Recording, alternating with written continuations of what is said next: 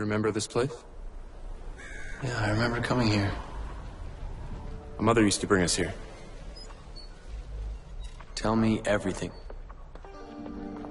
Some things have always been. There have always been angels.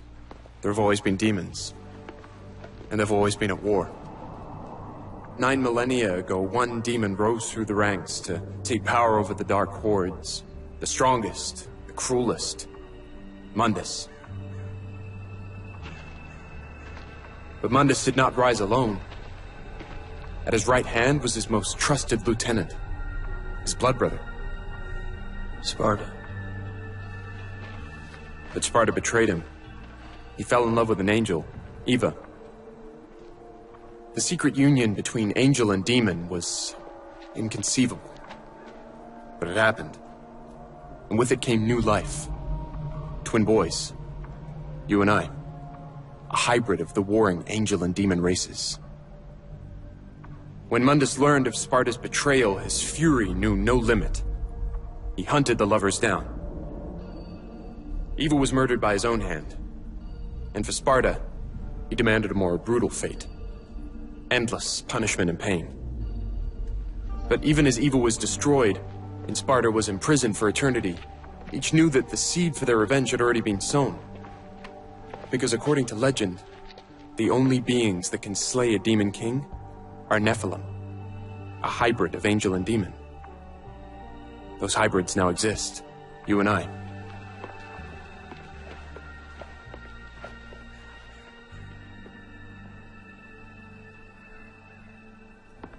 Mundus believed that only one child was born.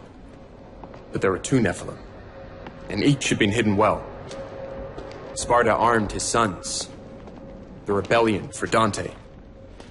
The Yamato for Vergil. So, Mundus killed our mom and imprisoned our dad. Yes. And we're the offspring of angels and demons. Demon father, angel mother.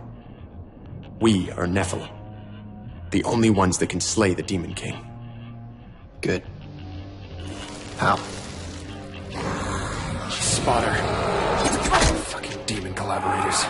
You're being dragged into limbo. I'll find Kat. She'll get you out. Stand firm.